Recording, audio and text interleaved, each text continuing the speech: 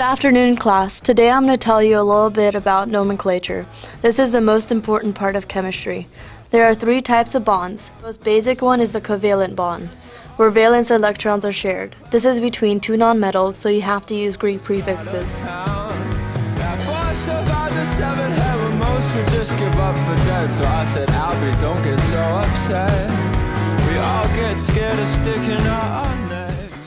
The second type of bonding is ionic bonds.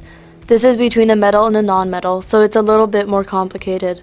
Every row in the periodic table has a certain charge. When you put two elements together, if the charges don't cancel out, they cross as shown below.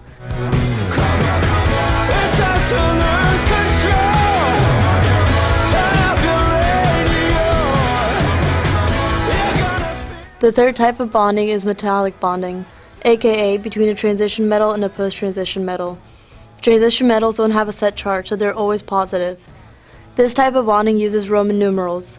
The transition metal will have a Roman numeral next to it, and this is its charge. Then you cross the charges as usual. The Roman numeral system can also be called the stock system.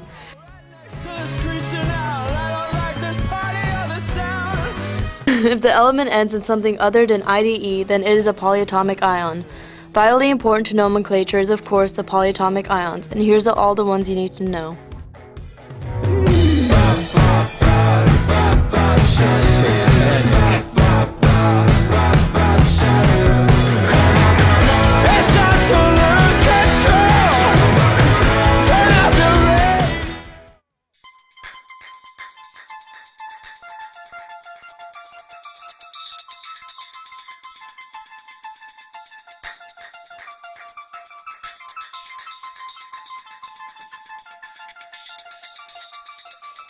my name is Phil Sus, I'ma show you how it be.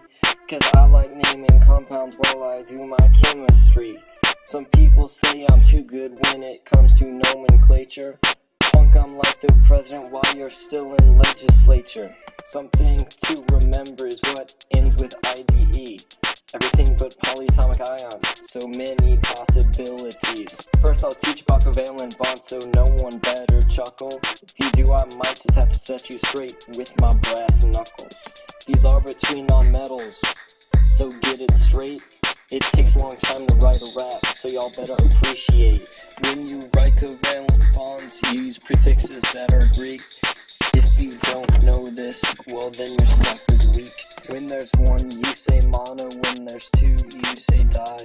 Better write this down fast before you get punched and cry. When there's three, you say tri. When there's four, you say tetra. No beats if you mix it up, so don't let me catch ya.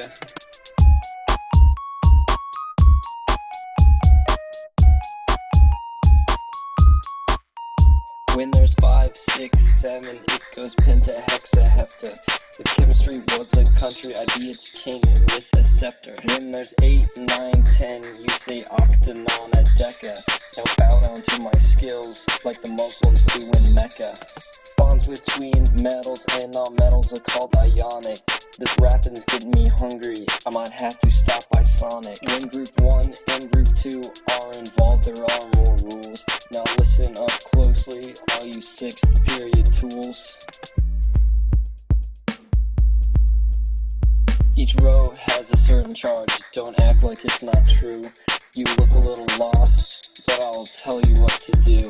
If the charges don't cancel out, well then they'll just cross over. Just pretend like you're playing the elements in a game of Red Rover. The last type of bond is none other than metallic.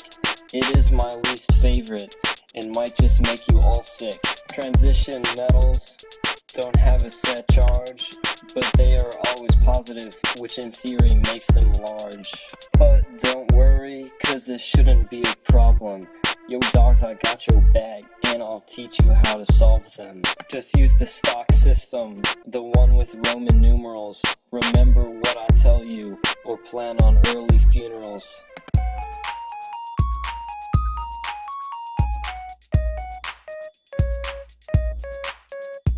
Well, that brings an end to my lesson today.